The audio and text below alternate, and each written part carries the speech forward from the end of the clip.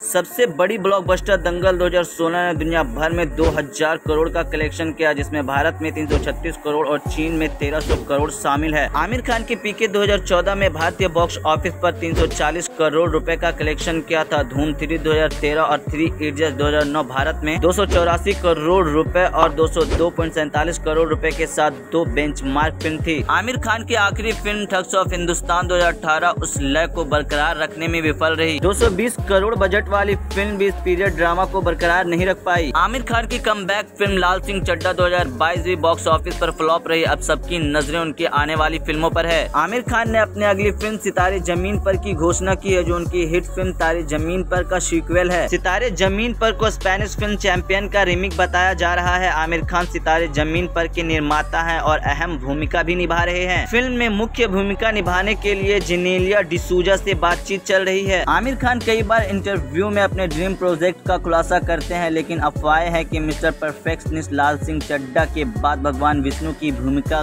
के लिए तैयारी कर रहे हैं। हालाँकि अभी तक इस खबर को लेकर कोई आधिकारिक घोषणा नहीं हुई। सो so फ्रेंड मेरा वीडियो अच्छा लगा हो तो वीडियो को लाइक और चैनल को सब्सक्राइब ज़रूर कीजिएगा।